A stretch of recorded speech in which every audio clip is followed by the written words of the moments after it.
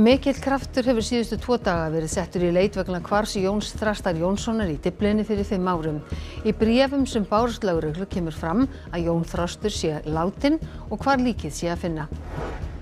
Fæðingarsjúkrahús í Rafa og Gaza er orðið yfir fullt og mikið um sýkingar í nýfættum börnum sem oft verða banvænar. Þá eru dæmi um að skólpatt flæði um sjúkrahús. Viðræður um opnalli standa enn. Formaður Vaffer segir að engin ákvörðun hafi verið tekin um hvort verkalýsreifingin bóði til verkvalla. Sáttasemjari hefur ekki bóðað til nýsfundar í kjaradeilunni. Kjöt ræktað úr stopfrumum gæti verið framtíðin og við smökkum þannig afur japanskar kornhænu í fréttatímanum.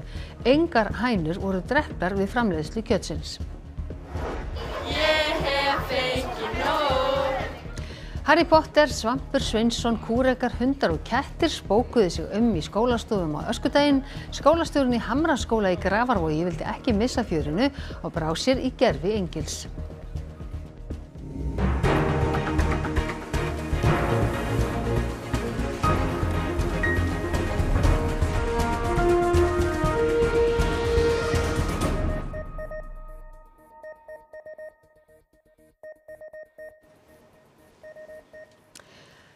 Komið þið sæl. Írska lögreglan hefur gist af hluta almenningsskars í Dyflinni vegna leitar í tengslum við hvarf Jóns Þrastar Jónssonar. Taknindeild lögreglu ætlar að kempa leitarsveiði fyrir að málið. Mikill kraftur hefur verið settur í leitina vegna hvarfs Jóns Þrastar síðustu tvo daga eftir að lögreglu bárust naflaus bref með nýjum upplýsingum. Hans hefur verið saknað síðan í februar 2019 og leit að honum hefur litlu skilað síðan. Lörgla hjælt blaðmannafund á förstu dag og leitaði við þessa tjörn í almenningskarði í útíðari borgarinnar, bæði í gær og í dag. Hundar sem eru notaðir við leitina eru saðir hafa fundið eitthvað í morgun sem lörglu þótti ástæða til að kanna frekar, en engar upplýsingar fást frá írsku lörglunu um hvað fannst. Lítið svæði í gardinum hefur verið girt af og tæknindeild lörglu hefur rannsókn á vettvangi í fyrramálið. Sískinni Jóns Þrastar voru viðstödd blaðmannafund lörglu fyrir helgi. Þau fagna þessum aukna krafti sem settur hefur verið í leitina og vonast til að svörum afdrif bróður síns fáist fljótlega. Vísbendingarna eru þess eðlis, þetta eru tvö bref sem eru sendt af semst, anonymous, nafnlaus bref. Annað er semst, tölvuritað og stittra og hitt er semst, handskrifað. Og þar segir í fyrra brefinu að Jón Þurstur sé látin og í setna brefinu segir að hann sé látin og hvar hann megi finnast. Svona, já, svolítið víðtæk staðsetning en við vatn þar sem er skóur og já, sem er ekki langt frá hér í þessa ár. Og það verður nánar fjallað um þetta mál í Kastljósi hér á eftir og þar verður einni rætt við formans Leysavörnafélagsins Landsbjörgar sem segir að gera þurfi ráðstafanir vegna stór aukins álags og björgunarsveitar fólk á Suðvesturhorninu. Al-Nasser sjúkrahúsið í Khan Yunis sem litið er á sem hryggjarstykkið í heilbriðistjónustu Suður Gaza er óstarfhæft vegna byrðaskorts og skólpvatni farið að flæða um gólf. Þá er sjúkrahúsið nýfætt börn í Rafa yfirfullt og sýkingum fjölgar. Viðræður um vopnalli á Gaza standa yfir. Í dag gerðu Ísraelsmenn árás á Líbanon sem svar við árás frá Hesbóla. Fjórir byðu bana. Á sama tíma er rætt um vopnalli á Gaza í Kæró. Fósetti Tyrklands kom í dag í heimsók til Egiptalands til að ræða meðal annars ástandið á Gaza og fekk höfðinglegar mótugur.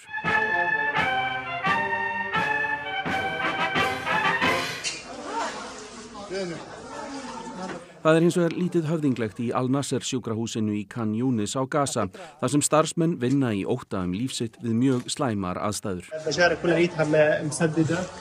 خرجت من عند المكان اللي يجلسون فيه الدكاترة ويستعملون فيه الفرق Og það er skortur á mat, bæði fyrir sjúklinga og starfsfólk. مضطرين ان ناكلها كما هي يعني ومنيح إنه لقيناها في هيك وضع لأنه أصلا الناس حاليا مش لاقية هاي العلبة. إحنا اضطرينا إنه ندور كثير قبل ما لقينا هاي العلبة الفول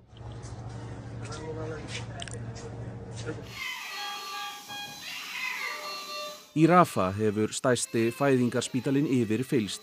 Sýkingar í meldingar og öndunafærum eru algengar hjá börnunum sem mörg hver eru fyrirburar. وهذه كلها ناتجة إما عن سوء الأحوال الجوية اللي بيعانوها الأطفال في الخيام وفي المراكز الإيواء وعدم وجود الحليب. الحليب الصحي والماء النظيف من التهابات ومضاعفات يعني أغلبهم للأسف بتوفوا وهذا شيء مزعج جدا لنا كطاقم Af þessum og fleiri sökum hryllir alþjóðastofnanir við ef Ísraelsmenn gera innrás í Rafa. military activities in this area, this densely populated areas, would be, of course, an, an, an unphenomenal uh, catastrophe. Félöginnan ASI funduði í dag um stöðuna í kjaraviðræðum við samtök atvinnulífsins. Ríkisáttasemjari hefur ekki bóðað til fundar en formaða Vaffer segir að enn hafi ekki verið rætt um verkválsbóðun en samningarnemnd félagsins fekk umbóð til þessi gerkvöld. Ekki eins og staðin er akkurat núna en við erum komið með umbóðið og það eru nokkur af okkur félögum sem eru í þessu samstarfi breyðfylkingarna komið með þetta umbóð svo verðum við bara að sjá bara hvort það komið til þess að við þurfum að nota þetta. Eins og staðin er í dag að það voru bara eins eins og var í gær að boltin er hjá samtökum atvinnulífsins og þau geta auðvitað skorið á þennan hnút. Deilur um forsendu ákvæðu uruðu til þess að verkefnisheifingin sleit viðræðum síðasta festudag. Samtök atvinnulífsins segja eðlilegt að slík ákvæði séu í samningi til langs tíma. og síðan auðvitað rættu við uh, hvaða leiðir við getum þrýst á að, að ná hér uh, ásættanlegum kjærasamningi til fjögur ára með þeim markmiði sem við höfum sett okkur frá upphafi og við þurfum að hafa sterkar fórsendu á, ákvæði inn í okkar samningi til þess að verja fólk fyrir því að það veri ekki skrifa hér undir samningi eins og oft hefur verið gert og svo er flekið ekki þotna þegar hækkanenda fara stað aftur. Verkefnisheifingin vill fá tryggt að fyrirtæki haldi aftur af verðlagshækkunum og sveitarfélögin drægi tilbaka þær hækkanir sem urðu um áramót. Það hljóta allir að sjá að það er útilokað að gera langtíma samning og setja alla ábyrðin á hendur almennings eða launafólks í landinu, það bara gengur ekki upp og þess vegna er þessi fyrirstaða hjá samtökum aðlýfsins algjörlega óskiljanleg og bara sorgleg. Ragnar segir að funduru trúnaráðs vaffer í gerkvöldi að við samþýgt að fylgja kröfu verkefnisfélagana eftir og ráðast í aðgerðir gerist þess þörf. Og það var mikil samstæða og það veit á gott fyrir okkar samningsstöðu inn í næstu daga og vikur. Hæstiréttur staðfesti í dag dóma landsréttari við tveimur sakborningum í saltreifaramálinu svokallaða, stærsta fíknefnamáli sem komið hefur upp hér á landi. Verjandi annars þeirra útilokkar ekki að fara með málið fyrir mannréttinda dómstól Evrópu.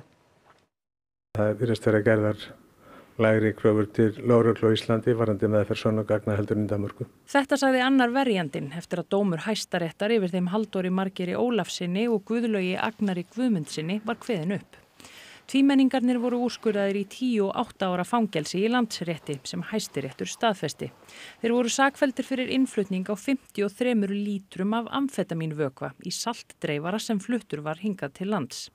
Þeim var einnig gert að söka hafa framleitt vel yfir 100 kíló af fíknefnum úr vökvanum og var verðmætið talið hlaupa á öðrum miljardi króna. Mennirnir voru í raun aldrei staðnir að verki, heldur byggði málið að miklu leiti á gögnum úr undirheimaforritinu EncroChat sem franska lögreglan komst yfir. Þar rættu tveir Íslandingar um innflutning í saltdreifara og framleiðslu amfetamíns. Verjandi Guðlaugs Agnars segir að í Danmörku hafi verið settar sérstakar reglur um meðferður afrætna sönnunagagna eins og EncroChat gagna í refsimálum. Lögreglan hér á landi hafi engar slíkar reglur sett. En hæstiréttur kannst að þeirri niðurstöðu að það hafi enga þýðingu fyrir sönnagildi þeirra. Sigurður segir að slík mál hafi verið borin undir mannréttindadómstól Evrópu. Og ég reikna nú með að við munum láta skoða þennan dóm þar. Við mötum þetta að ræða það við okkar skjólstæðinga, eða ég við mér allavegna. Skjólstæðingar ykkar standa þeir en þá klárir á því að þeir hafi ekki verið á baku þetta? Já, þeir hafa hafnað því og telja að það hafi ekki komið fram sönnunum það. Matvælastofnun hefur kært hótuningar eftirlitsmannastofnunarinnar til lögreglum. Hrönn Ólína Jörnsdóttir fórstjóri Mast segir að starfmenninir hafi verið við reglubundu eftirlit hjá matvælarfyrirtæki þegar þeim hafi verið hótað alvarlegu líkamlegu ofbeldi. Hún bendir á að það varði við hegningarlög að hóta ofnbjörnum starfsmanni við skildustörf og skýrt komið fram í vinnuröglum stofnunarinnar að öll slík mál séu umsvifalaust kært til lögreglum. Atvik sem þessi komi ekki oft upp en þó af og til. Orkubú Vestfjarða býður svars frá umhverfis og orkuráðuneyti hvort taka eigi virkun innan friðlands í Vassfyrði fyrir í rammaáallun. Vesturbyggð vil styrkja flutningskerfið eða kanna aðra virkjunarkosti áður en friðlandi er raskað. Hér í Vassfyrði hefur verið friðland í 50 ár. Nú vil Orkubú Vestfjarða hins vegar kanna möguleikana á því að virka innan friðlandsins. Orkubústjóri segir slíka virkun geta verið svarið við raforkuvanda vestfyrðinga. Okkur vantar meiri orku inn á svæðið, erum að flytja inn helmingin af þeirri orku sem við notum og orkuöryggi er hér ekki sem skildi og því er í rauninni haldið uppi með olju þreifnum hætti, annarkvort með díselvélum með oljupöllum. Virkun í Vassfyrði á einungis að skila 20 til 30 megavöttum en staðsetningin geti styrt fluttningskerfi vesturlínu sem flytur orku í fjórðungin. Ráðherra segir ákverðunum breytingu og friðlýsingu ekki líka fyrir, þó ríði á að finna lausn fyrir vestfyrðinga. Ef við ættum að taka einn landsluta út, það er að þeir eru vissum fleiri, en einn landsluta út þar sem að hefur alveg algjörl út undan er að finna virkilega fyrir því núna. Þá er það vestfyrir. Og það er þrátt fyrir það að þingi fyrir mörgum árum sagði að grænorkumálinn á vestfjörðum ætti að vera í forgangi. Fyrverandi prófessor í vatnalíffræði segir ríkar forsendur fyrir því að Vassfjörður var friðaður á sínum tíma. Og þannig var tekin frá heil fjörður og, og friðsaldalur, kjarrivaksinn og alveg upp í vatnarskil upp á Gláma hálendi. Það er sannlega eitt stærsta výðerni sem er óraskað á vestfjörðum. Virkun krefst þess að lagðir verði vegir og grafnir skurðir, stöðuvötn verði að lónum og lækjum og ám veitt frá farvegum sínum. Í umsögn Vesturbyggðar segir að fyrst eigi að kanna virkunakosti sem komnir eru í nýtingarflokk eða tvöfalda vesturlínu. Gísli bendir á að raforkuframlegsla á vestfjörðum sé ekki hagkvæm. Samanbörið við til skvamsvirkjun í, í Þjórsá, þá er þetta sennilega fjóru sinu dýrar að rama. Elías segir tvöföldun vesturlínu vera dýra og flókna í framkvæmt. Spurningin er hvað það tekur langan tíma vegna þess að vesturlína er 160 km lang, þarf að fara í gegnum rúmlega 70 jarðir og þar þarf að ná samningum við tæplega 300 landegundur. Vesturlína þarnist brátt endurgerðar sem geti kostað 12 til 15 miljardar.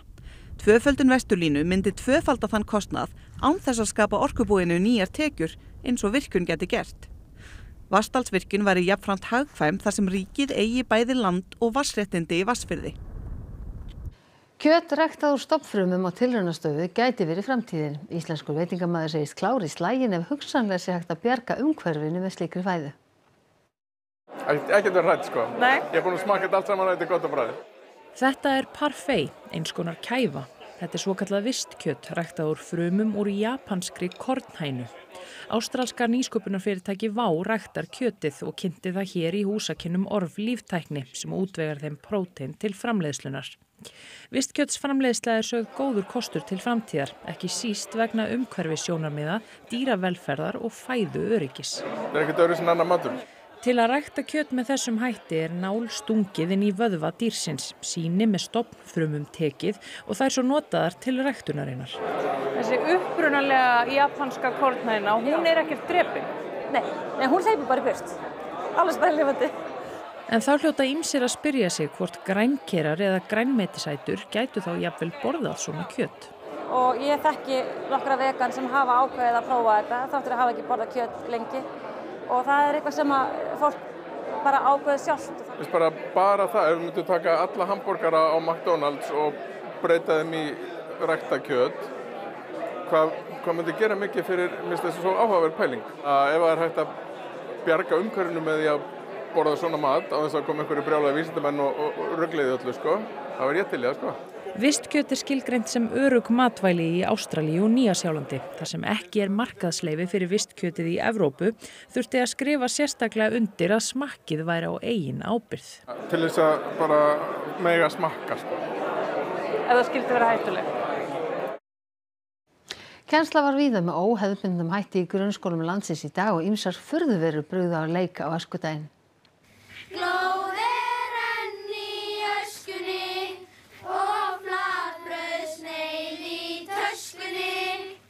Nefendur fymtabækjar Neskóla í Neskaupstað þöndur allböndin og fengu góðgæti í staðin. Ég er Svampur Sveinsson. Ég er kvætturinn minn. Kvætturinn þinn? Hún heitir Dimma. Og gerður þú Svamp Sveinsson búningin sjálf heima? Já, ég og mamma saman. Skólastarf var víða með óhefbundum hætti. Í Hamraskóla í Gravaravogi var mikið stuð þegar nefendur gengu á milli skólastofa til að sína sig og sjá aðra. Akkur ákvastu verið Harry Potter? Og ég finnst Harry Potter flottur. Ég er hundurum minn Irma. og hún er eiginlega bara rosalega ung, hún er kolpur. Það er gaman en það verður rosalega heitt eftir svona smá. Þetta eru svona öskudagstöðvar og þetta er ógeðslega skemmtilegt. Ég er búin að fara basically á allar. Já, og við erum að búa á þessar stöð, erum að búa til dúska og vinarbönd. Það er mjög gaman. Ákvað bara að vera kúriki. Ég veist, ég hef aldrei verið kúriki og það er bara gaman. Sjá, prófa, prófa því starða búninga og svona. Þá voru ekki aðeins nefnundu sem bröðu sér í allra kvíkinda líki. Skólastjórin tekur uh, þetta greinilega mjög alvarlega. Já, maður verður að fara alla leið, er það ekki? Maður verður með. Ha. Og svo heppin að finna englabúning bara á skrifstofunum minni frá því um jólinn, hann að ég kann bjarga þessu bara fyrir höfn. Krakkar, er þetta gaman? Vestlunareigandur þurfti að byrja sig upp að góðgæti þegar krakkarnir gáttið farið í heimsók, sungið og brúðið á leik. Hvað voruð það að gera? Um, sníkja nammi. Um, við fórum í marga búðir og, og vorum að sníkja. Er það voðalega sniðut að vera að sníkja? Voru ekki að syngja það eitthvað? Jú, við vorum að syngja og fá okkur nammi og sækja nammi. Og hvað ætlið svo að gera við allt þetta namið sem þið eru búin að fá? Uh, bara borða þegar við komum heim, eða eitthvað. Kasta inn að klæðinu, ég hef fengið nóg. Öskudagssöngurinn hafði ekki teljandi áhrif á þá elsköndur sem höfðu skleðja ástunni sína í nafni Valentínusar í dag. Það getur þó verið örlítil áskorun að afgreða blóm, hlusta á söng og aðfenda nammi á sömu stundu. Já, það er búið að vera alveg stattið að gera og já, en gengur bara útrúlega vel. 14. februar er dagur elskenda og síðustu ár hefur fæst í aukana að landsmenn gleði ástvinni sína í tilefni dagsins. Glæðningurinn er gerðan í formi gjafa eða blóma og nóg var að gera á þeim vettvang í dag. Það er búið að vera rosa mikið, sérstaklega í sérpöntunum. Við viljum fá svona pantannar aðeins og undan svo við getum undirbúið. Það er alveg þessar kökur og jarðabörin hérna. Súkulega hjópuðu jarðabörin, þeir eru búin að vera rosalega vinsæl. Svona alls konar bræðtegundir af þeim. Svo virðist sem karlmenn velji síður að gleða sína elskendu með sætindum. Það er svona verðast vera aðeins fleiri konur sem að eru að kaupa sko. Og konurnar virðast síður velja blómin. Í dag finnst mér búin að meiri svona sala hjá kallmennu. Mér vera að koma ofta núna. Meira ungir eða eldri eða allt í bland? Þetta er bara rosalega blandað. Bara ótrúlega gaman að hvað þetta er ótrúlega svona langt aldrei spila milli sko. Kolbrún segir það ekki að hafa haft teljandi áhrif þó elskendur hafi þurft að deila deginu með syngjandi börnum. Við erum samt alveg búin að vera svona taka við svolítið mörgum börnum í dag og það er alveg flókið að vera ágreða og hlusta og bjóða nammi og, en gekk útrúlega vel og þetta er bara gaman. Og þau eru misjöfn valentínusöðplönin. Hefur þú hug á að gleðja einhvern í tilumni valentínusadagsins í dag? Rekna nú ekki með því. Já, ég ætla að gleðja kærstu minn. Búin að kaupa gef. Þannig að allt klart. Nei, ég held að slepp því. Nei, því mér, ég á engan kærasta. Þannig að ég er bara einn. Já, ég ætla að bjóða honum á, á hérna, stofutónleika og, og þryggja rétta máltíð. Aldrei svo vand. Víkingur Heiðar Ólafsson píjánuleikari er færtugur í dag og af því tilöfni heldur hann tónleika í Hörpu núna klukkan 8 sem verða í beinni útsendingu hér í sjónvarpinu. Pétur Magnússon fréttamaður er í Hörpu, já, er ekki hátíðarstemning þar, Pétur? Jú, það er nú allavega að vera að undirbúa mikla hátíð. Hérna bara eftir tíu myndur þá verður við byrjað að hleypa inn í Eldborgarsal og ammælisbarnið er jú byrjað að hita svona eins upp. Víkingur Heiðar, þú ert búin að vera á tónleikaferðarlægi um heiminn en þú stoppaðir hér fyrir ammælið. Já, þetta er svona mín hugmyndum ammælisveislu að halda tónleika fyrir mitt fólk og þrenna tónleika í hörpu. Mitt í þessum heimstúr, þá er þetta alltaf svona miðpunkturinn og mín leið til að verða fæltur. Ég ger ekki ráð fyrir að þú spilir afmælisöngin í kvöld, en hverju getur fólk búist við? Sko, ég er nú bara að fara að spila þá tónlist sem að stendur hjarta mínu næst. Ég er að fara að spila Goldberg tilbyrðin eftir Johann Sebastian Bach sem í mínum huga er bara mikilfenglegasta, fallegasta, skemmtilegasta hljómbórsverk sögunar, sem hvort meira nýja minna, sko. Þetta er hérna þessi fallega og fræga aria sem að verki hefst á, svo koma 30 tilbyrði sem er næstu því eins og 30 plánutur sem að hverfast um eins og sól sem Arian er og þetta er svolítið eins og ferðalega í tíma maður fær næstu tilfinningu fyrir lífshlaupi í þessu verki og því vildi kannski svolítið eðandi að skrýða inn í 50-aldurinn með, með þessu. Þakka að kella fyrir vikingur heðar og til hamingu með daginn. Takk fyrir.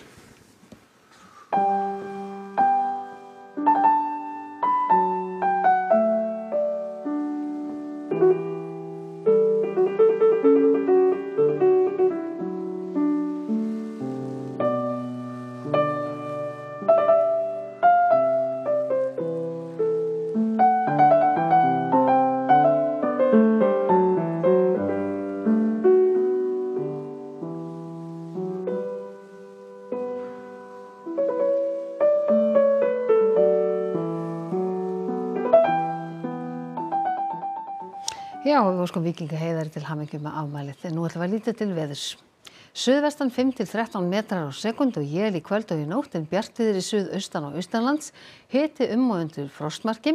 Á morgunni síðan útleitt fyrir að vind lægi um allt land og það stytti upp þannig að síðdegis megi búast við þurru veðri. En Raff Guðmundsson veðurfræðingur fyrir nánar yfir horfur næstu dagar loknum íþróttafréttum sem Þorkill Gunnar Sigurbjörnsson sérum í kvöld. Hlauparinn Baldvin Þór Magnússon verður meðal keppenda á meistaramóti Íslands í frjálsýþróttum innan úr sum helgina. Þar geta hann hæglega bætt eigið Íslandsmet í 3000 metra hlaupi. Íslandingar hófu keppni á Evrópumótun í olimpískum liftingum í Búlgaríu í dag. Og heimsmeistaramóti í sundi stendur sem hæsti í Katar. Þetta og fleira í íþróttum hér eftir fréttir. Og nú ætlum við að reyða upp helstu atriði þessa fréttatíma. Mikill kraftur hefur verið síðustu tvo daga í settur í leit vegna hvars Jón Strastar Jónssonar í Dyflinni fyrir fimm árum. Í brefum sem bárust lögreglur kemur fram að Jón Þröstur sé látin og hvar líkið sé að finna. Fæðingarsjúkrahús í Rafa á Gaza er orðið yfirfullt og mikið um sýkingar í nýfættum börnum sem oft verða banvænar. Þá eru dæmi um að skólpatt flæðum sjúkrahús viðræðir um opna hlýstanda enn. Formaður Vaffer segir að engin ákvörðun hafi verið tekin um hvort verkalýsreifingin bóði til verkvalla. Sáttasemir hefur ekki bóða til nýsfundar í kjaradelinni. Kjötrækta úr stoppfrumum á tilrunastofi gæti verið framtíðin. Íslenskur veitingamæður segist klári slægin ef hugsanlega sé hægt að bjarga umhverfinu með slikri fæðu. Harry Potter, Svampur Svinsson, kúrekar, hundar og kettir spókuðu sig um í skólastofum á öskudaginn. Skólastofurinn í Hamraskóla vildi ekki missa fjörun og brá sér í gerfi Engils. Þessum fréttatíma er að ljúka og nú kom það íþróttum, veðri og svo kastlösi. Næstu fréttatímar er í útarp og sjónvarpi klukkan 10 í kvöld og nýjustu fréttir má nú eins og alltaf finna inn á rú.is en við ætlum að segja þetta gott að sinni. Verðið sæl.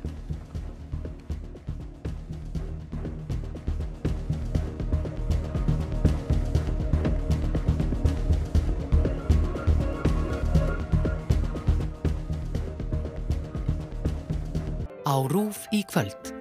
Bein útsending frá tónleikum